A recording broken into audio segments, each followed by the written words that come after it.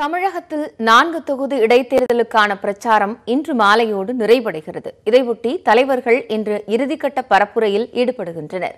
இந்நிலையில் ஆட்சிக்கு வருவதற்கு தாம் அலையவில்லை எனவும் எடப்பாடி பழனிசாமியை மக்களே விரும்பவில்லை என்றும் திமுக தலைவர் மு க ஸ்டாலின் விமர்சித்துள்ளார். தமிழகம் புதுச்சேரியில் வேலூர் தொகுதியை தவிர முப்பத்து ஒன்பது நாடாளுமன்ற தொகுதிகளுக்கான பொதுத் தேர்தலும் பதினெட்டு சட்டமன்ற தொகுதி இடைத்தேர்தலும் கடந்த மாதம் பதினெட்டாம் தேதி நடைபெற்றது.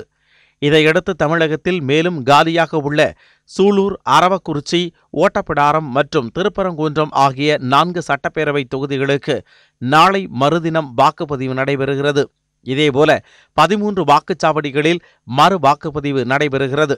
இந்த நிலையில் நான்கு தொகுதிகளிலும் இன்று மாலை ஆறு மணியுடன் பிரச்சாரம் ஓய்கிறது. திருப்பரங்குன்றம் தொகுதியில் முதலமைச்சர் மற்றும் துணை முதலமைச்சர் இன்று பரப்புரை செய்கின்றனர். அதேபோல் அரவக்குறிச்சி தொகுதியில் திமுக வேட்பாளர் செந்தில் பாலாஜியை ஆதரித்து மு ஸ்டாலின் இன்று நாள் முழுவதும் பரப்புரை மேற்கொள்கிறார். முன்னதாக சூலூர் தொகுதிக்குட்பட்ட இருகூர் பகுதியில் திமுக வேட்பாளர் பொங்கலூர் பழனிசாமியை ஆதரித்து மு க ஸ்டாலின் வாக்கு சேகரித்தார். அப்போது பேசிய ஸ்டாலின் இருபத்தி இரண்டு தொகுதிகளையும் வென்று திமுக பெரும்பான்மையோடு ஆட்சி அமைக்கும் என்றார்.